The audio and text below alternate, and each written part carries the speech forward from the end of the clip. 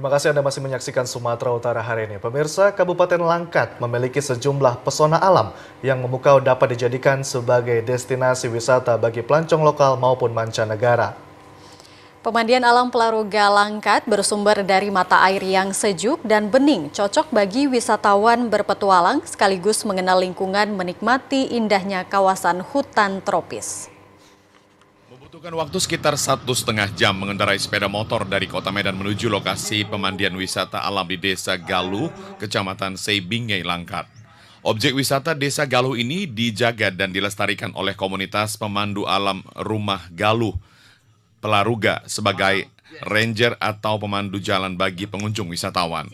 Di lokasi posko kedatangan pengunjung akan disambut oleh para ranger untuk menawarkan beberapa lokasi wisata pemandian yang diinginkan di antaranya kolam abadi, kolam kaca, air terjun teroh, air terjun tongkat, dan banyak lagi lokasi pemandian alam lainnya. Kolam abadi menjadi incaran para pengunjung karena memiliki air yang bening dan suasana alam yang eksotis. Dengan berjalan kaki membutuhkan waktu sekitar 30 menit dari posko mengitari hutan tropis menuju beberapa objek wisata pemandian alam kolam abadi dan dibekali dengan pelampung sebagai pengaman saat mengitari sungai.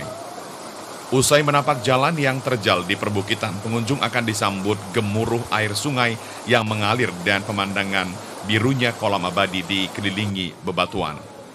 Pemandian kolam abadi banyak ditemukan mata air yang mengalir berasal dari balik bebatuan hingga memiliki kejernihan yang luar biasa.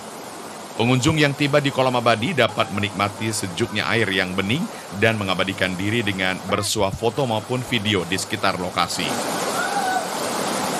Salah seorang pengunjung Eka Sanjaya Surbakti mengakui pemandian alam kolam abadi sangat luar biasa pesona alamnya dan baru pertama kali mengunjungi karena menjadi viral di media sosial. Indahnya pesona alam pemandian kolam abadi dibutuhkan dukungan dari semua pihak agar pelestarian hutan tetap terjaga. Harapan kami untuk menuju Turu-Turu dan kolam abadi supaya bisa anak-anak menikmati wisatanya juga di dalam uh, bermain air. Nah, cuman jalan masuk ke dalam kan 30 menit. Jadi perlu akses jalan supaya bisa pemerintah ikut memberikan sarana prasarana untuk bisa masuk ke lokasi wisata Turu-Turu dan kolam abadi. Usai menikmati pemandian kolam abadi, pengunjung dapat mengitari sungai yang jernih menuju air terjun teroh-teroh dengan cara menghanyutkan diri dengan menggunakan pelampung.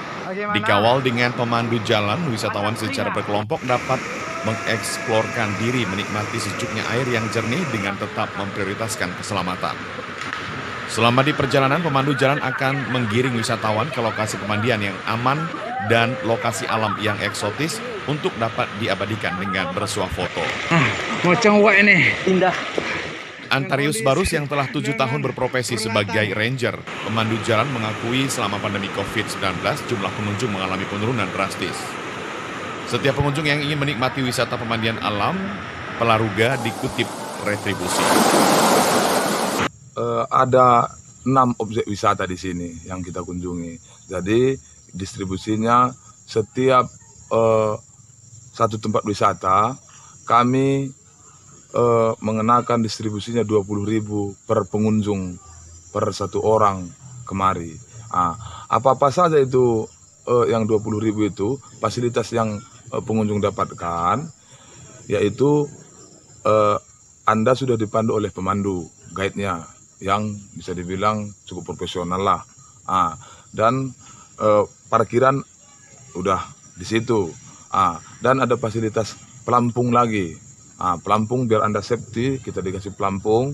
Ah, baru kita eh, udah masukkan ke asuransi jasara harjanya. Wisata alam Pelaruga memiliki enam lokasi pemandian yang dapat ditempuh dengan berjalan kaki ataupun kendaraan roda dua yang diharapkan masyarakat dapat menikmati pesona keindahan alam di Kabupaten Langkat dengan memperhatikan menjaga lingkungan demi pelestarian hutan di masa depan. Pemirsa informasi tadi sekaligus menutup perjumpaan kita pada sore hari ini. Kami terus menghimbau kepada Anda untuk selalu mengingat pesan Ibu dengan cara menjaga jarak, memakai masker, selalu mencuci tangan di air yang mengalir dengan menggunakan sabun. Akhir kata, saya Hafiz Eko Dentoro. Dan saya Ayu Alvinia Kori, mewakili seluruh kerabat yang bertugas mengucapkan terima kasih atas perhatian Anda. Selamat sore dan sampai, sampai jumpa. jumpa.